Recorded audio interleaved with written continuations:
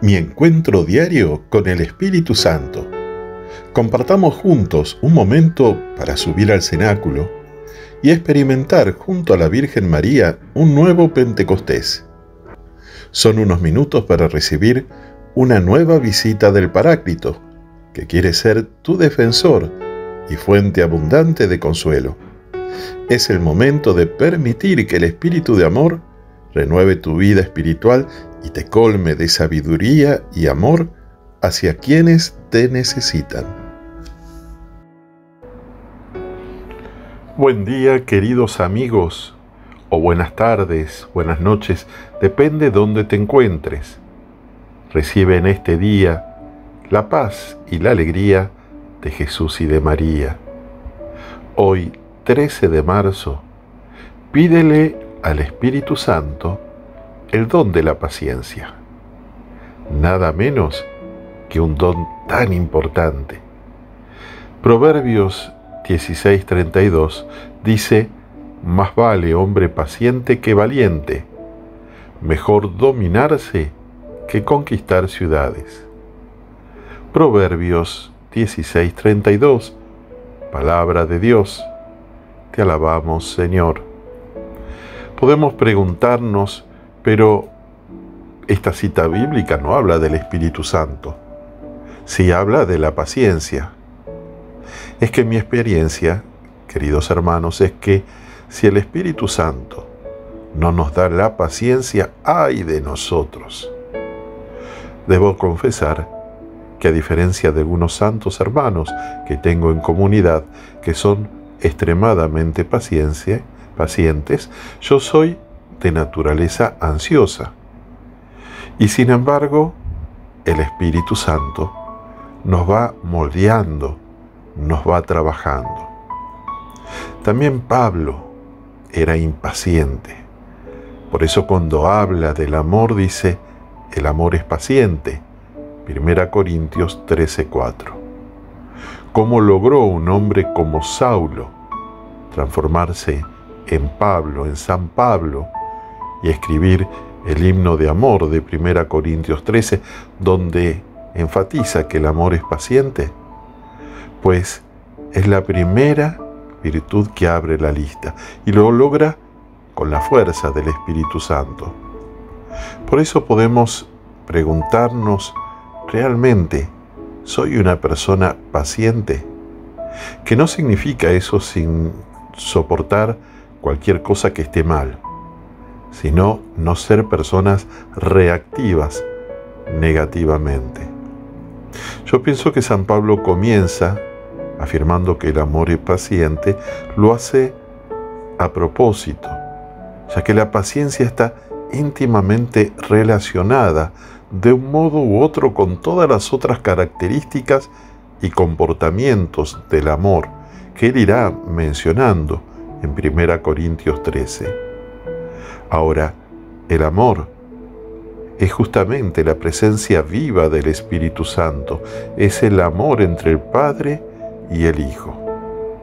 Y sin paciencia nos volvemos personas ansiosas, frustradas, angustiadas, malhumoradas, irascibles, y terminamos enfermándonos a nosotros mismos y enfermando el entorno provocando conflictos en los diversos ambientes en los cuales vivimos o nos desempeñamos. De aquí la necesidad imperiosa de clamar al Espíritu Santo que nos ayude a desarrollar esta virtud, la cual nos ayudará a mejorar la calidad de vida, a no enfermar nuestra mente, nuestro cuerpo, a minimizar, relativizar las circunstancias adversas que rodean algunos momentos de la jornada. El Espíritu Santo cuando agiganta la paciencia en nosotros, también nos ayuda a disfrutar más de las pequeñas cosas cotidianas, a mejorar los vínculos con nuestros semejantes y cientos de ventajas sobre las cuales debemos meditar en nuestra vida. Hace algún tiempo conversaba con algún amigo que tenía que tomar una decisión en cuanto a su trabajo. Y es una decisión necesaria, pero yo simplemente lo escuché. Mientras lo escuchaba oraba en mi corazón y luego simplemente le dije, pero es una decisión que debes tomar ya ahora. ¿Lo has orado junto a tu esposa en familia? Y fueron palabras muy sencillas, tal vez inspiradas por la simplicidad del Espíritu de Dios. Y fue como que a él y a su esposa se les salió una carga, porque comprendieron que sí tenían que hacer un camino de pensar, de reflexionar, pero que no tenía que ser algo solucionado en el instante. Por lo tanto, la paciencia es necesaria para nuestra vida cotidiana. He conocido un sinnúmero de personas que a causa de la impaciencia frustran planes del Señor. Por lo tanto, necesitamos pedirle al Espíritu Divino que nos vaya iluminando y recordando aquello que, si somos impacientes, está como origen de esa actitud. A lo mejor fueron acontecimientos de nuestra vida que nos volvieron inseguros, temerosos, que nos lleva a responder a las diversas situaciones con nerviosismo y ansiedad, en lugar de buscar la mirada del Señor.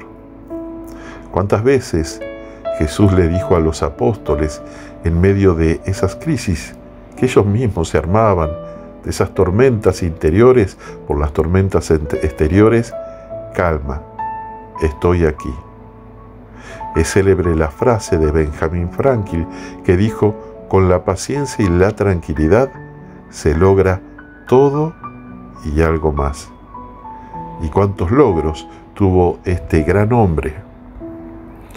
Así también nosotros, con la virtud de la paciencia, como don, como fruto del Espíritu Santo, podremos llegar mucho más lejos. Pues a veces puede sucedernos como una señora que oraba y le decía a Dios, Señor, dame paciencia, pero dámela ya. Si este es tu caso, déjame que te comparta que yo mismo siento la gracia de Dios cada vez que me viene la impaciencia, clamando al Espíritu Santo, y veo también los frutos del el Espíritu Santo desarrollando esta virtud en muchos hermanos. Te invito a que en este momento oremos a Dios pidiendo esta virtud. Espíritu Santo, cólmanos de la paciencia.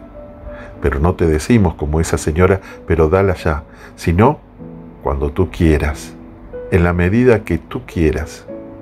Hoy te pido que vengas a mí y que me concedas la ciencia de la paz, la cual surge por tu presencia en mi interior, concediéndome ante las situaciones difíciles y los problemas imprevistos y las personas complicadas, la serenidad que procede de ti.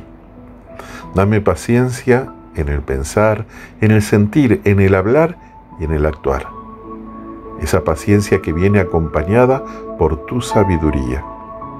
Tú me enseñas que por medio de la paciencia pueden conquistar ciudades, por eso ayúdame a conquistar mi carácter y a domar aquellos aspectos de mi personalidad que se oponen a esta virtud que procede de ti transforma aquellos comportamientos mal aprendidos que me llevan a ser inseguro, colérico, ansioso, nervioso e impaciente. Pon en mí un corazón semejante al de Jesús, manso, paciente y humilde, para que de ese modo pueda transformar mi vida y las realidades cotidianas. Amén. El Señor está contigo que te bendiga nuestro buen Dios, que es Padre, Hijo y Espíritu Santo. Amén. Y te invito al desafío de que si tú eres paciente, lo pongas o pongas un dedito para arriba. Y si eres impaciente, dejarás de serlo por la gracia del Señor. Un fuerte abrazo y hasta mañana, si Dios quiere.